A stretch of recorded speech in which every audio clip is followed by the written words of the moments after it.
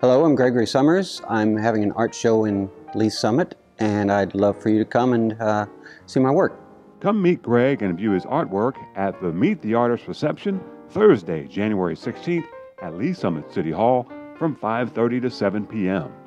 I enjoy painting outdoors. I go out there looking for the way light affects certain elements, and and, uh, and then hopefully I come away with a uh, finished canvas.